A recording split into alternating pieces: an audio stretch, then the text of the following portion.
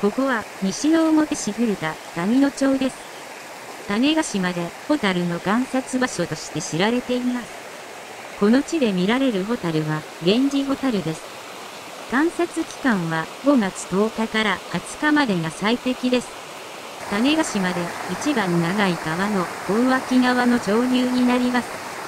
水も豊富で脱水になることがありません。また、ホタルにとっての餌であるカワニガもたくさんいると聞きます。ホタルはこれより下流側で多く飛び回ります。川に入らなくても道路から十分観察できます。